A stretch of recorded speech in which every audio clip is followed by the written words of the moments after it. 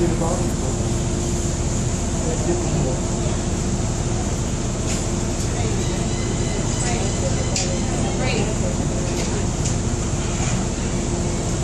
Look at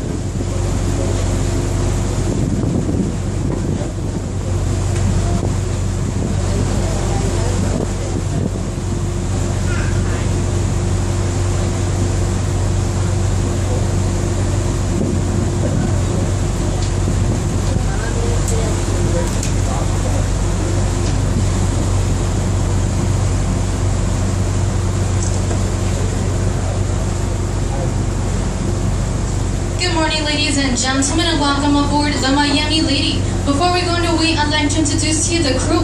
Driving the boat is Captain Chris. Our first mate is Caesar. Our bartender is Isabel. Next to hers and training is Ted. And my name is Ashley, and I'll be your narrator in English and Spanish. We are authorized by the U.S. Coast Guard and have over 150 life jackets on deck in case of emergency. Life jackets are located on the second floor, all the way towards the back, in the white boxes underneath the blue cushions, on the first floor in the back corners of the boat. It is prohibited to stand on or in front